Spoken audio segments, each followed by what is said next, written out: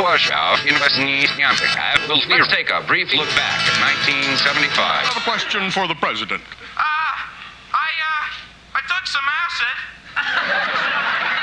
I'm uh, afraid to leave my apartment and I can't wear any clothes.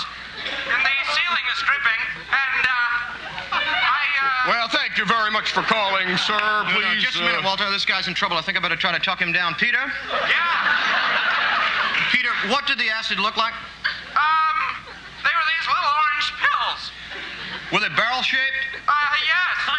Okay, right. You did some orange sunshine, Peter. Very good of you to know that, good sir. How long ago did you take it, Peter? Uh, I don't know. I can't read my watch. All right, Peter. Now, just listen. Everything's going to be fine. You're, you're very high right now. You'll probably be that way for about five more hours. Try taking some um, vitamin B complex, vitamin C complex. If you have a beer, go ahead and drink it. Okay.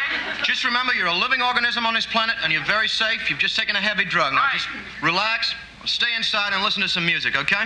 Do, you, do you have any Allman Brothers? So there was what was happening in the country, what was happening in our lives, what was happening in the general world of, of uh, politics and, and pop culture.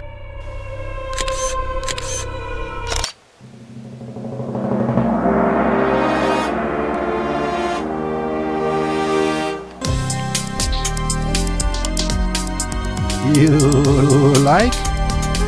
subscribe.